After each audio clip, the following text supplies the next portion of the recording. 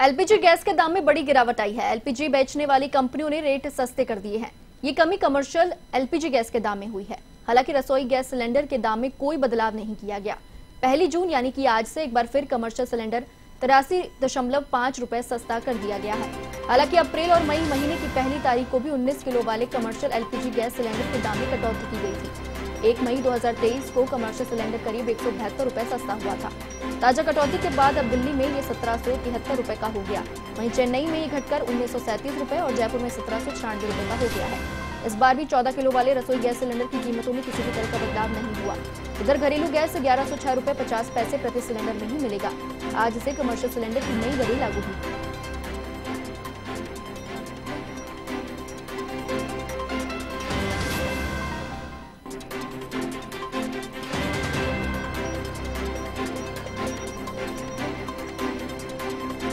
और इस खबर पर अधिक बातचीत के लिए मेरे साथ फ़ोन लाइन पर जुड़ चुके हैं हमारे सहयोगी BK Sharma.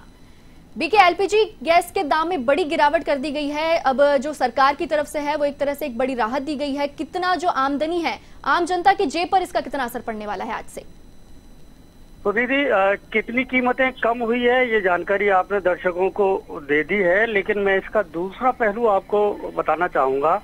जिस तरह से बंगाल में जब चुनाव थे तो वहाँ पर आप लगातार छह महीने तक पूरे देश में एलपीजी के दाम नहीं बढ़े थे और स्थिर हो गए थे।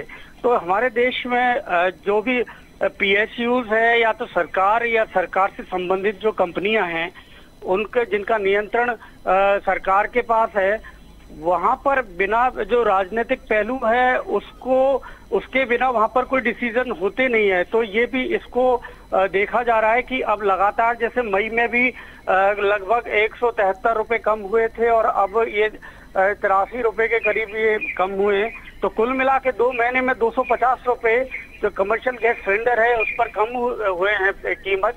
तो जो कमर्शियल गैस सिलेंडर है, उसके भी उपभोक्ता जो घरेलू उपभोक्ता हैं, उनसे कम नहीं है। ये तमाम जितने भी होटल, रेस्टोरेंट, ढाबे चाय की थड़ी या इस तरह के जितने खाने पीने का सामान है जो बनाने वाले लोग हैं, वो इसी का इस्तेमाल करते हैं कैटरिंग में काम आता है। तो प्रत्यक्ष रूप से ये आता उपभोक्ताओं के ही काम है। और इसकी कीमतें कम होती है या ज़्यादा होती है तो इसका असर भी उपभोक्ता की जेब पर पड़ता है। तो कुल मिला के देखा जाए तो अब, क्योंकि तीन राज्यों के पहले चुनाव है और अगले साल फिर लोकसभा चुनाव है तो इसे देखते हुए लगता नहीं कि अब एलपीजी की कीमतों में वृद्धि होगी।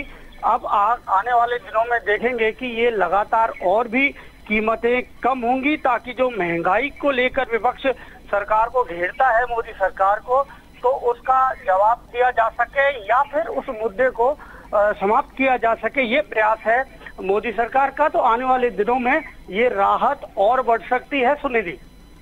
जी जैसा कि हम जानते हैं अभी तक घरेलू गैस के दामों में कोई भी बदलाव नहीं किया गया तो क्या कोई संभावना है कि इसके दामों में भी अब इसके दामों में भी कटौती की जा सकती है?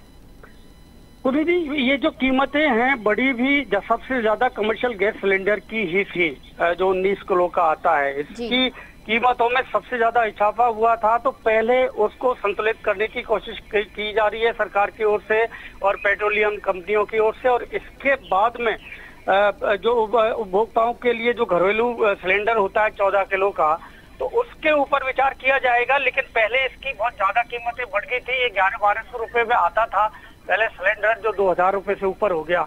अब उसको मुझे लगता है कि इसको और नीचे लाकर और पंद्रह, चौदह, पंद्रह सौ रुपए के आसपास किया जाएगा पहले, और उसके बाद संभावना देखी जाएगी कि जो घरेलू सिलेंडर है, उसकी कीमतें कम की जा सकेंगी। तो ऐसा अनुमान है आने वाले दिनों में हो सकता है घरेलू सिलेंडर के भी दाम कम हो, सुनिए। चलिए, आपका बहुत बहुत शुक्रिया तमाम जानकारी साझा करने के लिए।